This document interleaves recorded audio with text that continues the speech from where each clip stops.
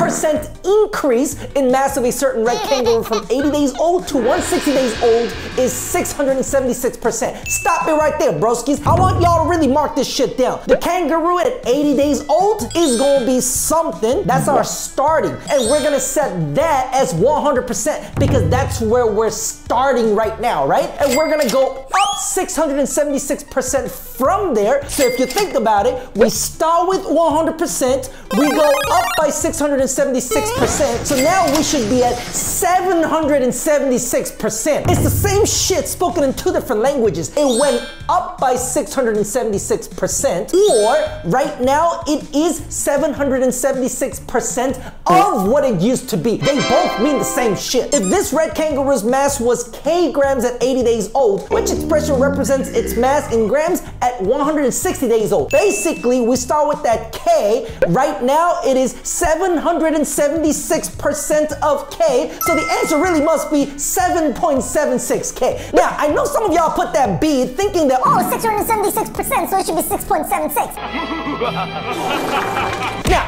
You to understand it. this is module two, number 20. We're about to finish this damn test, and apparently the level of difficulty of the questions is supposed to get harder as you go, right? This is almost towards the end. Do you really think they're just gonna give it that obvious answer choice B as the right answer? I mean, seriously, think about that again, bro.